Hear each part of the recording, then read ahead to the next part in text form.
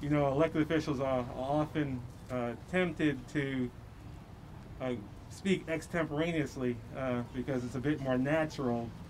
But when we reached out to uh, Kelsey and some of our friends wanting to do this specific event, it was because of the significance of the contributions of, of, of these three amazing men and uh, probably hundreds, if not thousands, of, of employees of yesterday's over the last uh, several decades uh, that I, I do want to uh, actually uh, refer to my talking points a little bit more, if you, if you would indulge me uh, in, in that regard. Um, in the mid 1970s, while Five Points was considered a thriving shopping district, it was definitely in need of a boost to its identity and also an economic anchor. In 1976, Duncan and Scotty McRae and Daryl Barnes recognized the, the enormous potential of this building, uh, which had been built in 1935 as Gibson's Drugstore and served as a watch repair store and several other businesses over the years. Uh, equally, they saw the potential for Five Points to serve as a location for their new restaurant idea.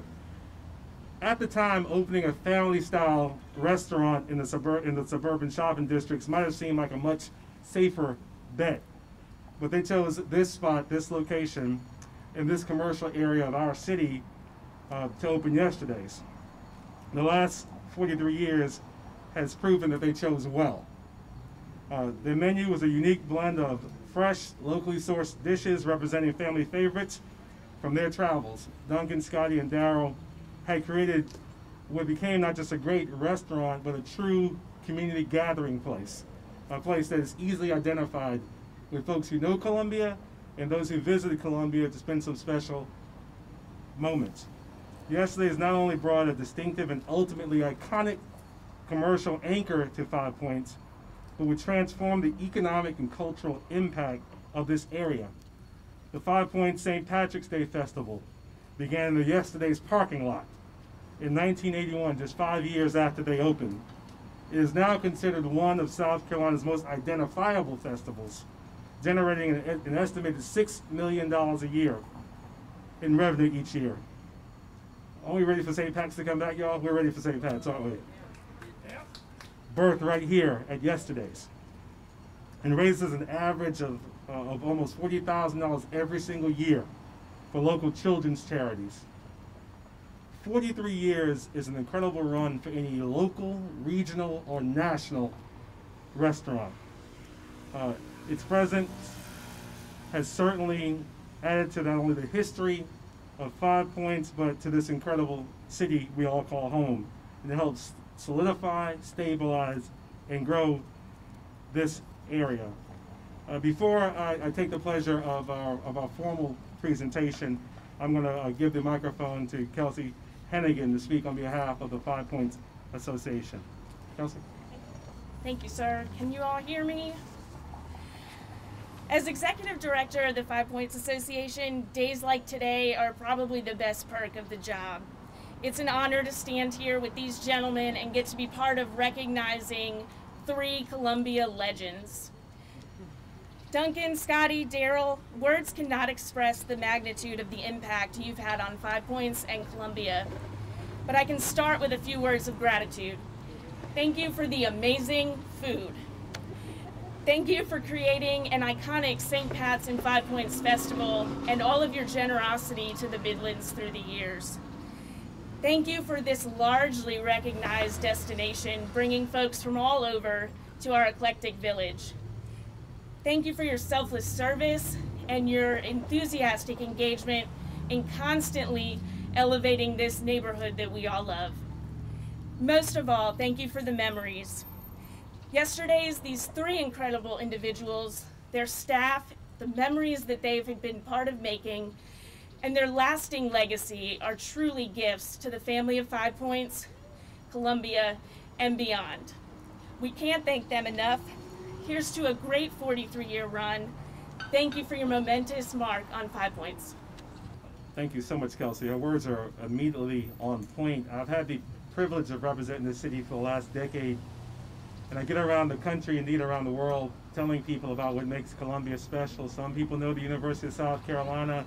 Uh, many have trained here at Fort Jackson, where we trained the greatest fighting force the Army uh, the world has ever seen.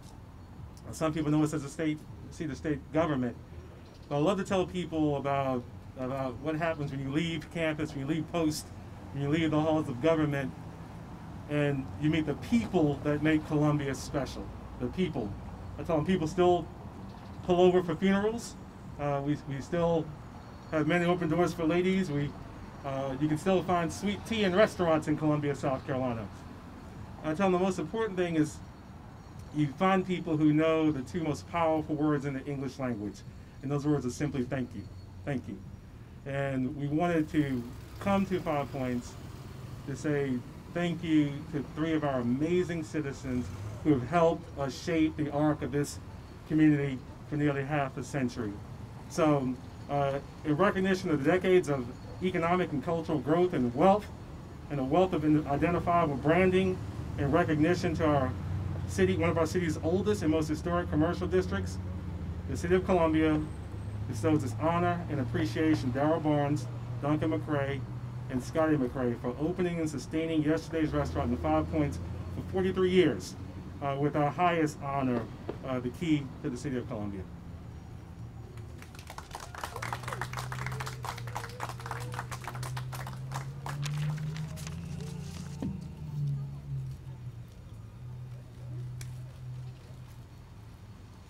I've never given the key and an elbow at the same time, y'all. This is.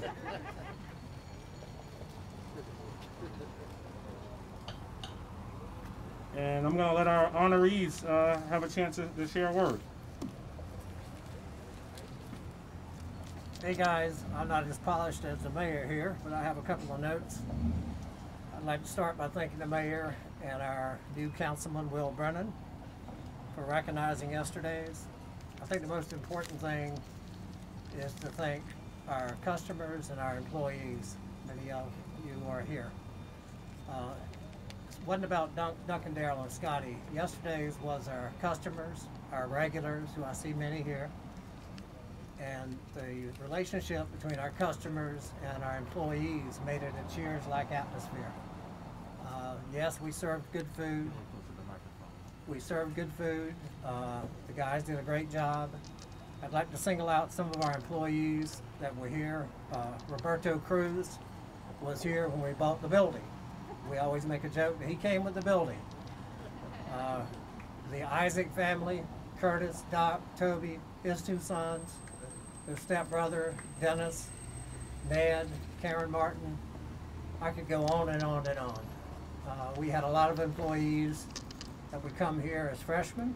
Uh, they would work, they would fall in love, they would marry. Some would marry uh, other employees, some would marry customers. And over the years, their kids have come back, gone to USC, and also graduated. So we get to see the family like in a full uh, cycle. Uh, I think the last thing I'd like to say is, uh, Mayor Ben, please keep the St. Patrick's Day at its home. Don't let someone sneak it off to another, like West Columbia somewhere. And uh, keep it, even though yesterday's isn't here, St. Patrick's Day belongs in Five Points. Hopefully somebody will uh, release the building and bring back yesterday's. The man in the tub is still here. And uh, hopefully we'll find someone to do that. That's all I have.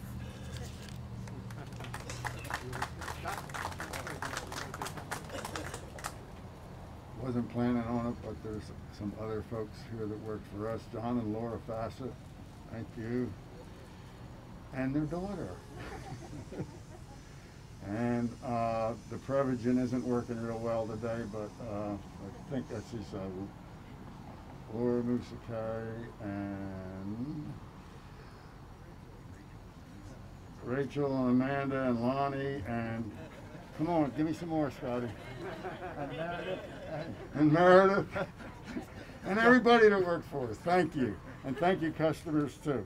It's been a wonderful trip and a great honor for the mayor to give us this key. Thank you very much.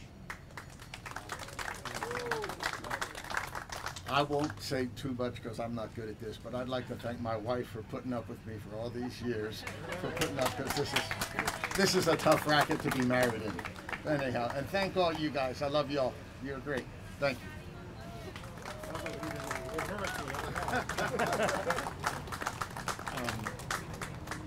Well, thank you. I think we're just going to have some photographs and everything else and, and, and show these gentlemen and, and their families some, some love. And again, to all the uh, employees um, and people who made this place special, to all the customers who, who added the character and support uh, to yesterday's. I mean, the reality is that is that this type of unique institution uh, lives on in the identity and DNA of a community for, for years and years and years. Uh, so, we're, so we're thankful and thank you all for not thinking it robbery to come and, and to spend some time to say thank you to these incredible leaders. God bless you.